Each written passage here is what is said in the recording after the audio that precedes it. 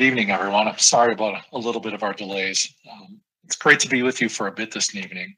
As I shared at our April meeting, I would be back with you, um, and I'm glad to be here with you this evening.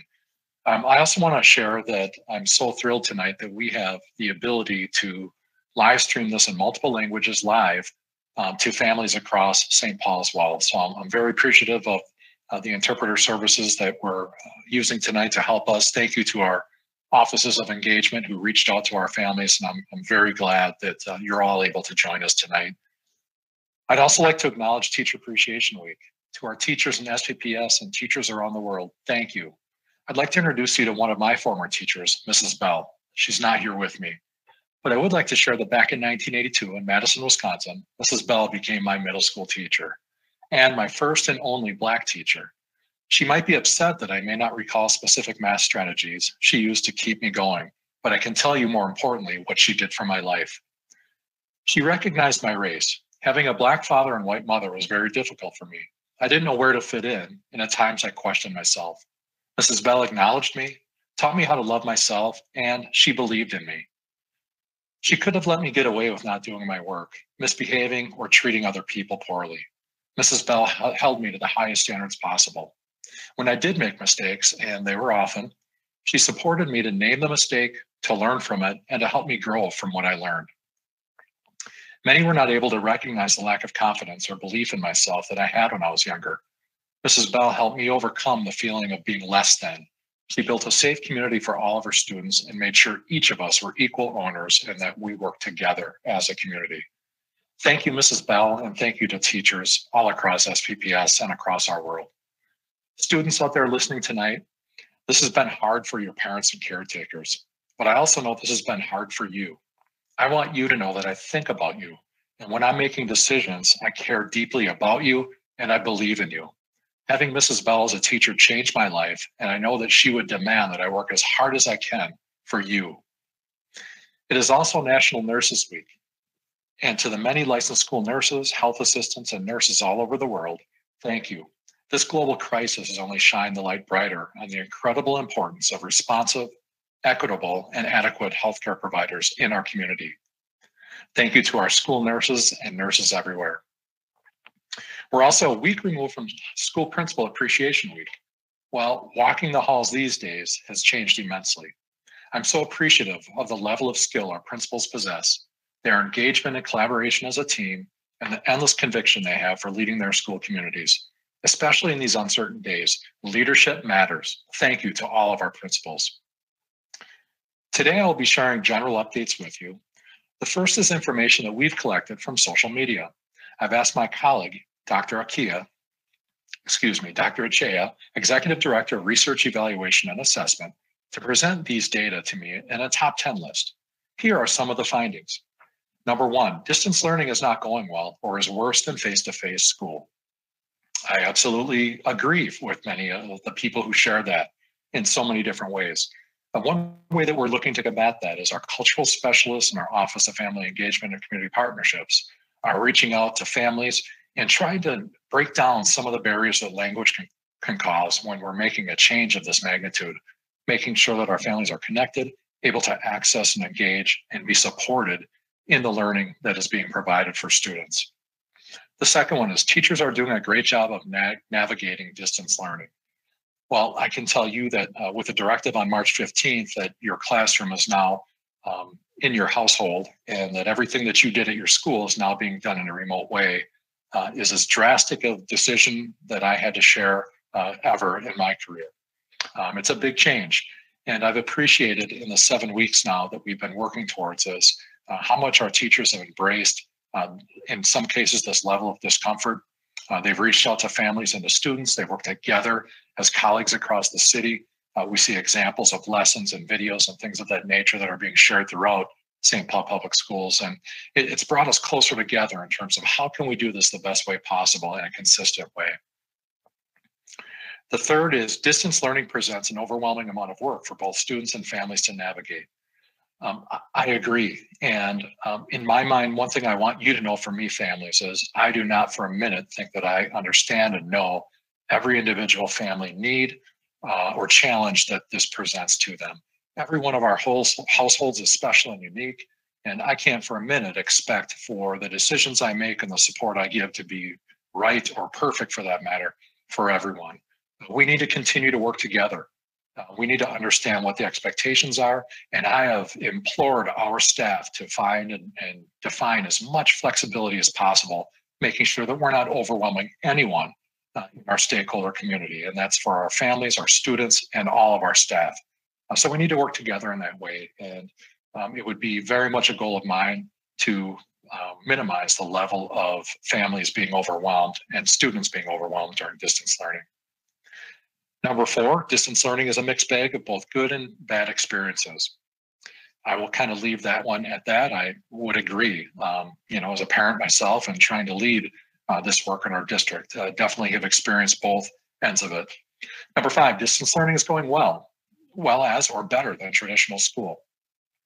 This one has me curious, and I've heard anecdotes about um, people exclaiming this, whether it's students or families or some of the staff, and observing uh, some of the behaviors of their students. And um, I don't think this says to me that this is the way we should do school forever. Don't get me wrong. But I do think there are some really good things that we can learn about this time and how we might use some of these techniques or strategies or ways of connecting uh, in a more regular way for whatever the next iteration of schooling is as we go through the summer and into the fall. Number six, distance learning presents particular challenges for students with special needs. Um, it absolutely does. And, and, we know that in our Office of Specialized Services, uh, working in a mainstreamed way wherever possible, as defined by student IEPs, individual education plans, we very much want to look to modify and adapt and find ways to accommodate for the unique special uh, needs of our students and making sure that all feel extremely welcome and supported and part of their school community. That's brought some challenges now that we um, a lot of our assistive technology and a lot of the uh, techniques and and strategies that we use are very much a face-to-face um, in some cases a physical way of working with with students. So we've had to truly define different ways to support students with special needs. It's far from perfect but please know that the staff in spps are really dedicated to this. Um, it's something that we talk about often every day in terms of what are new challenges that are presented, uh, what are new supports that we've learned that we can share. And we very much want distance learning to be uh, for our entire community, for all of our students, and uh, involve all of our staff. Distance learning embeds engaging activities and learning platforms. I think in some cases it absolutely does. Uh, navigating some of those systems, uh, again, can be challenging, but uh, we are learning all the time and engaging with our uh, vendors and other service providers ways to optimize based on what we're hearing from you, based on what we're hearing from our staff, and having the ability to make changes where we can. But also looking for new uh, and exciting ways that we can add um, uh, platforms to our uh, to how we support our students and support distance learning. Number eight, families desire the structure the face-to-face school provides. Absolutely, I think uh, the structural frame of, of this work is by far the, the, the biggest change. Um, you can't uh, close the doors to the school and say, we're going to do this in this new way, in a remote way. Um, so uh, I think all of us are mourning different aspects of the face-to-face experience. And, and that's something I can't for a minute uh, try to make up for, only to say that I acknowledge it. And as we think about our future, uh, we will definitely uh, look for ways to take what's best of our face-to-face opportunities and make sure that we're finding a way uh, to still continue to provide those supports. Number nine, there are challenges in using Schoology and other applications. Um, these are highly technical apps and um, have many different features that are used by some, but not all. Um, again, we are attempting to provide general guidance and general support uh, know that we have staff that are at all different uh, levels of uh, ability and comfort with Schoology and some of the other applications. So you, you may definitely experience, even in your own household, a different level of how those uh, learning platforms, learning management systems are used. 10, and I think this one speaks to me the most, kids miss school and the social emotional aspects of face-to-face of the face-to-face experience. Um, without a doubt, um, cannot replicate that on a computer screen. Um, you know, I myself working with several teams and, and even you tonight, uh, this is not my favorite way to engage, uh, and, and not many that I've met. Uh, this is the way we're going to do it. Uh, this is the way that we'll look to enhance and embrace the opportunities that we have to make them the best that they can. But I too miss our kids, our staff, um, our community coming together uh, and sharing space together. So Sunday morning, this past Sunday, after a beautiful Saturday, if you remember, um, I woke up with a lot on my mind and um, I did something that I don't recommend, but uh, for me, it really helped. I, I, went to Twitter and I unleashed a series of 40 tweets. And it started just from a list that I had been compiling in my head of some things that I wanted to share with the, the, commun- the community, you know, those who are on Twitter. Let me just highlight some of the things that I shared before I get into some of our questions for tonight. Um, I continue to talk about attendance uh, being far more than a, uh, a checked box for me. Attendance is truly connection. It's accessing, it's engaging, and it's supporting. Um, attendance for us, again, if you remember, is the stay at home order. We know where students are supposed to be. Um, my job is to look for how are we connecting? How are we ensuring that there's support? How are we engaging? And how can we measure that? How can we ensure that this is happening um, right now and into the future? Uh, we continue to work on our budget. Uh, school budgets in the state of Minnesota have to be balanced and they have to be approved by local boards of education by June 30th, the end of June. As it stands, our board meeting in June is June 23rd. Uh, so that would be when I bring a, an adopted budget for approval uh, to our Board of Education. And again, uh, that budget will be balanced, meaning that the money that we're going to spend next year is also has the um, amount of revenue coming in. So we plan for that budget to be balanced. So we're going through the process now of how can we make sure that those two things align. And you're right, if you're thinking this, well, how do you know with the level of uncertainty in the future? And it's hard, it's challenging. Uh, so we have to think broadly. Um, the way that I have to think about this is I have to think about opening a school district next year in September, uh, really July 1st for our fiscal year, uh, that looks a lot like it did this past year. I have to be ready to be able to staff our buildings to support your students the way uh, that you remembered it prior to March 10th. Um, so that's the way that we're moving forward right now with the direction that we've received thus far. Uh, talked about connection enrollment. Uh, so you know, we do continue to enroll students, kindergarten, uh, pre-K all the way up. Um, and you can find enrollment information on our website. There's both a phone number and an online portal uh, for families, new families or continuing families to engage if they need assistance with placement. Um, essential kid care, we continue to offer essential kid care. The essential kid care is, is child care that the district is um, um, putting on to St. Paul's essential workers. And uh, essential workers have been defined through this whole process, and it's a pretty long list right now, but we have consistently had 125 students uh, taking part in that. The executive order governing essential kid care ends at the end of the school year. Um, so we don't yet know what the summer will bring. St. Paul Public Schools has a, a child care program in the summer that um, takes care of roughly 1,600 young people, uh, children. So we need to look for a way of are we going to be given permission to continue our childcare? Is essential kid care going to be extended? Is there going to be some combination? Uh, one thing I want you to know is that we want to be here uh, for the children of St. Paul and to support our families. So we will work with the guidance that we're given and we'll be sure to communicate with all of you. Graduation I'll address in a few of the questions that come up later uh, in the segment. Just know that this, uh, again, has been a really painstaking uh, decision for us. Um, and I don't want you to think for a minute, I know how it feels to be a senior if you're out there um, or the parent or family member of a senior. I don't. Um, I've, I've seen how this has been impacting people around the country, whether it be college or or high school, and uh, my heart goes out to you. We want to make it as meaningful as as possible, um, and we're working really hard to do that as an entire city, as a St. Paul Public Schools.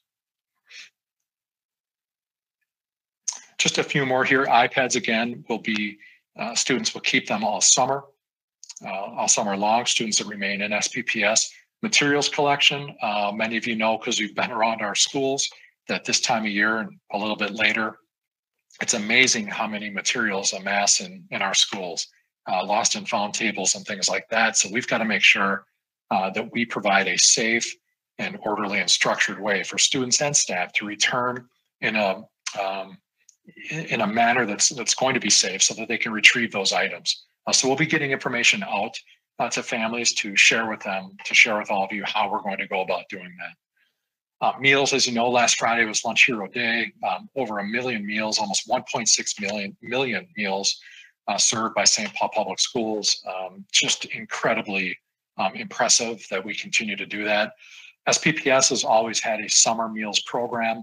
Uh, we're not only looking to continue that, we're looking to expand that. Uh, we are working hard with the federal government and our lobbyists to um, um, to assure that there's going to be funding there in order to do that. We believe it's very important for us to continue that, and I'm really proud of our nutrition services staff for that. Uh, just a couple of more. Uh, next year, I'll get into as well in a, in a bit with some of the questions.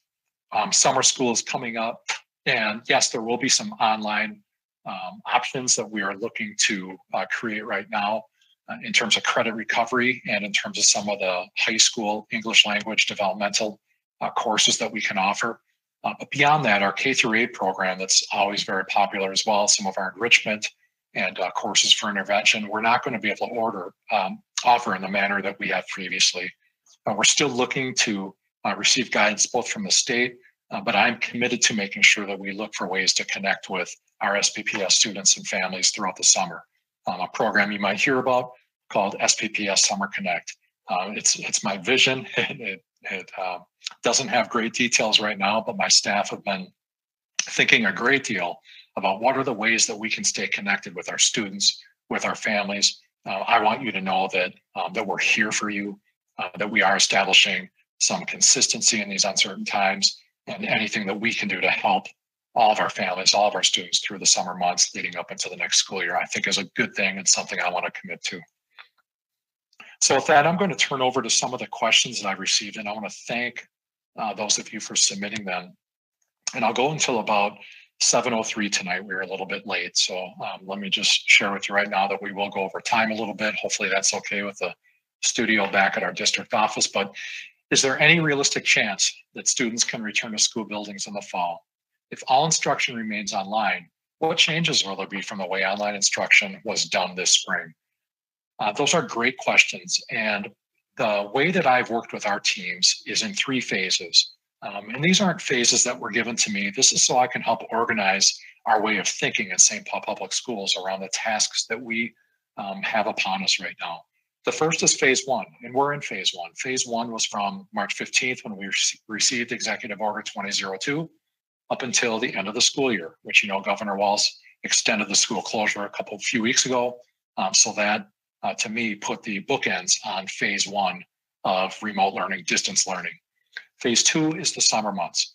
And I shared with you a little bit about what our plans are and how they continue to be defined. Uh, we are awaiting guidance from the Minnesota Department of Education, MDE, you hear me refer to them as, and we will be getting information out about that in addition to SPPS Summer Connect. Um, and, and throw into that also our child care program or essential kid care, that, that combination of things. And then the really big question is fall. What is September going to look like? And I really don't have the answer to that right now. Um, I have followed my colleagues and uh, large cities and leaders across the country, um, organizations that, that, that, support education around the country. And uh, so I've been engaged in a lot of discussions, but none of us have the guidance for what school is going to look like in September. What I can share with you is um, would I recommend starting the school year exactly how we are right now? Um, no, and I think I would call phase one um, distance learning 1.0, you know, kind of our first iteration of it.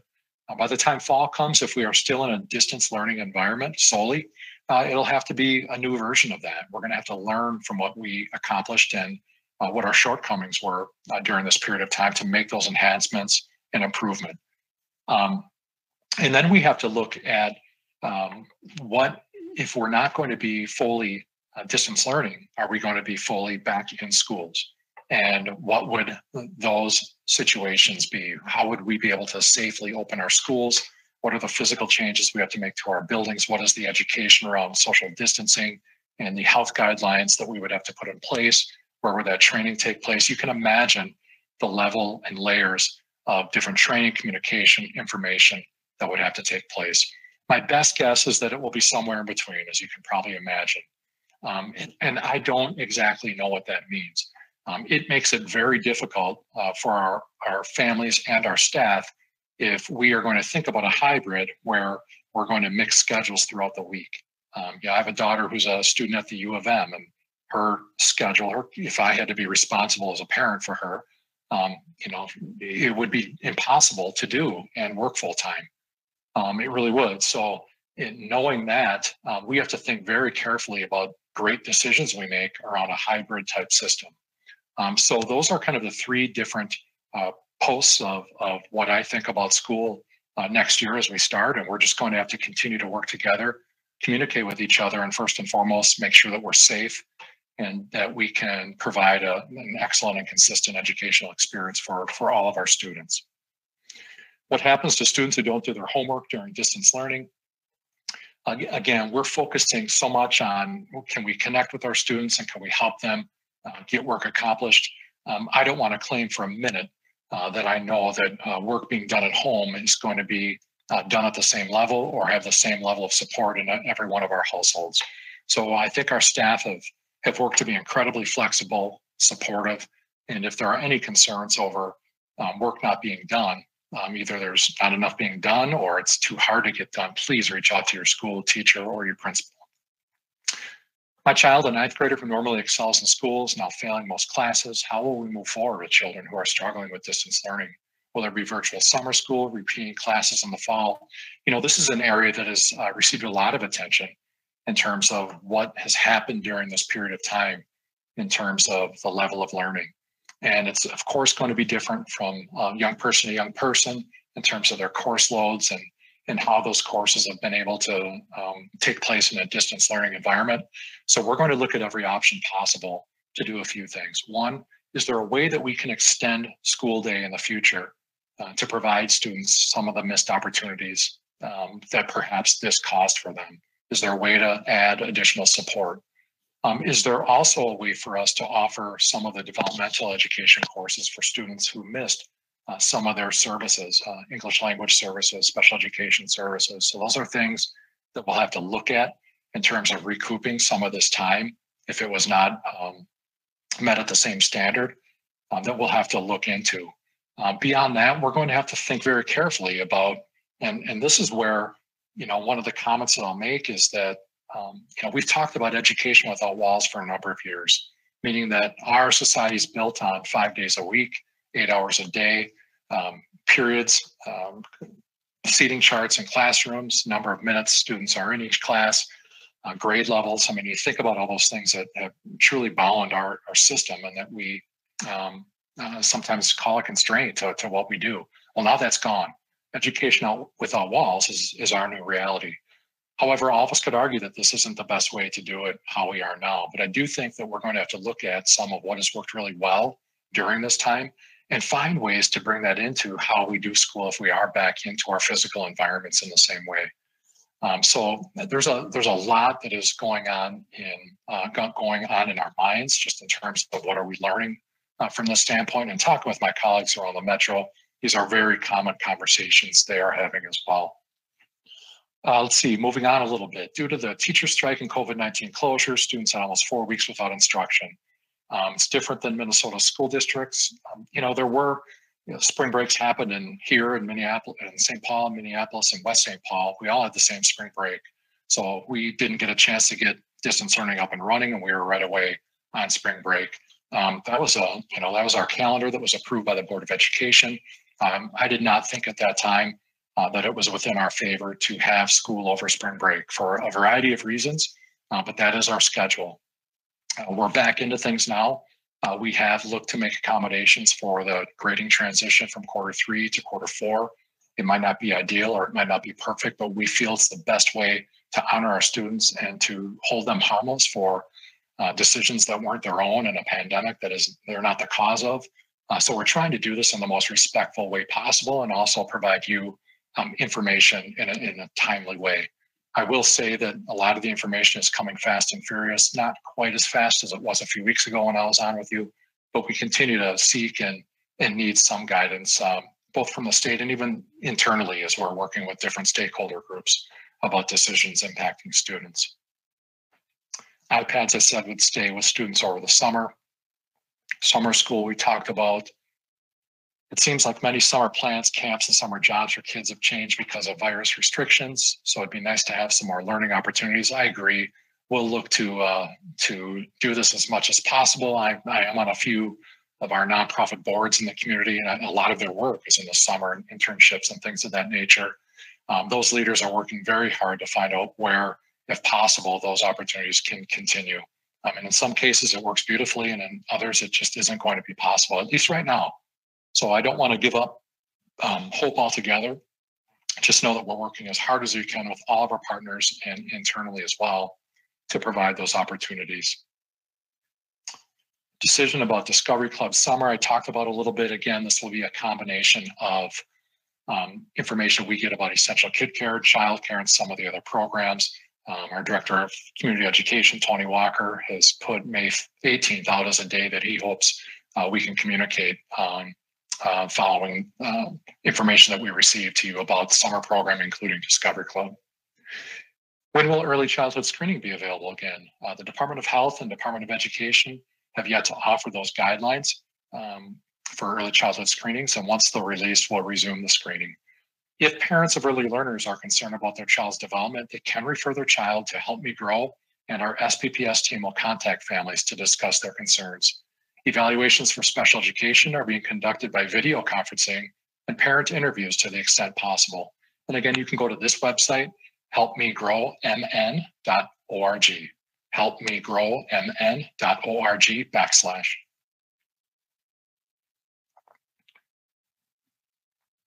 Was an August graduation ceremony considered? If so, why was it turned down? If not, can it be considered? Um, a number of our venues, again, we have about 12 different ceremonies throughout the city in, you know, beautiful spaces, uh, working with uh, most, mostly our, our post-secondary education partners. And um, uh, they canceled a lot of those, um, th those venues, uh, even through August. Uh, so those spaces aren't available. And right now, that's the guidance that we have from them. So the with the level of unpredictability, what I wanted to opt for is making sure that I could provide the container for our schools to hold their graduation ceremonies in, um, making sure that they were consistent throughout the district, making sure we understood what we could support. And when considering our options, we also believe a June timeline was better as many of our seniors would have moved on to their post-secondary options and, and being more difficult uh, to track them down and to engage them with plans later in the summer. Um, I'd also like to hear about the virtual graduation and um, is the district giving them access to their cap and gowns for graduation? How will that work? Uh, let me share with you, and a lot more will be coming out both from your sites because even though I want to have some consistency in the district, I also want to honor the traditions uh, that make each of the schools and programs unique. Um, I've been at every one of the graduations, and and each of them has their um, has their traditions that are really important to uh, students, families, and, and the staff. Uh, we're doing home deliveries of caps and gowns beginning next week, including honors cords and tassels. We are also sending your senior a sign to display in your yard or window to celebrate their accomplishment. The reason we're arranging for these deliveries next week is so that you can take those pictures and so our seniors will be able to submit a photo in their cap and gown for the virtual ceremony. The virtual ceremonies will take place on the same day and time that's posted. Uh, we will be able to host those on our website, streaming such as it is right now, and also um, on the web for people around the world to watch um, as well. With the March transition to distance learning, the district made a decision to give all students passing grades for their work in third quarter. Um, again, this flexibility has gone back and forth a lot. Uh, the Department of Education did provide guidance uh, late last week. Uh, so we are communicating that next week uh, but again, looking for as much flexibility, holding our students harmless, and making sure that anything doesn't negatively impact them in the future that is far out of their control. So we'll be getting more uh, clarity on that as, as we move forward. Kind of back to graduation, I got a little bit ahead of myself. We also are offering signs for our fifth and eighth graders. Um, schools have put in orders for those signs as well. I saw a mock-up of one of those today, and they're pretty cool. Uh, I was really happy that our print shop, our own St. Paul Public Schools print shop, is going to be taking care of all of the signs that are uh, printed and distributed to our students and to our community. So I can't wait to see them um, throughout the community. A few more questions here before I cut away for the evening. curious if Crossroads will be put on a regular schedule like all the other schools, uh, since we will be online learning. At this point, it's really hard to make that decision midstream. Uh, we are following the current schedule. We have not had any discussions or made any decisions about changing that schedule. How and when we'll be able to turn books to school. As I said, we'll be setting up schedules and times and information about that. And then lastly, a question about physical education. At some middle schools, there's no physical education option for some students. Some children won't have physical education for two years in a row. Why can't all middle schoolers take physical education? It should be first come first, shouldn't be first come first serve. Um, our students should be receiving at least one quarter of phy ed every year in all grades. And if they're not, I'd like you to encourage you to reach out to your, your child's principal.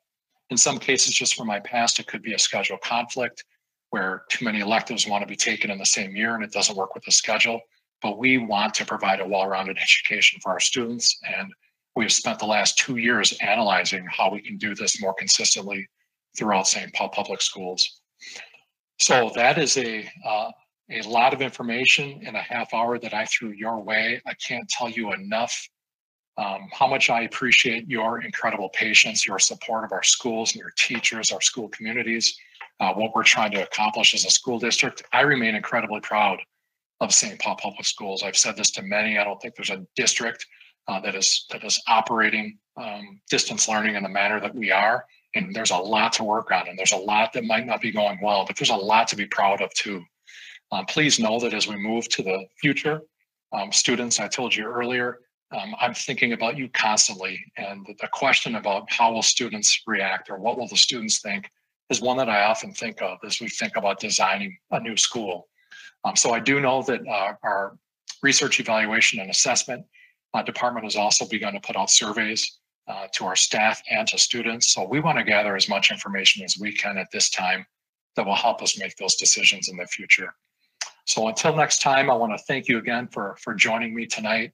Uh, thank you for all that you do, and please reach out to me if I can be of any support or assistance to you. Thanks a lot, SPPS, and I'm really proud of all of your efforts. Thank you.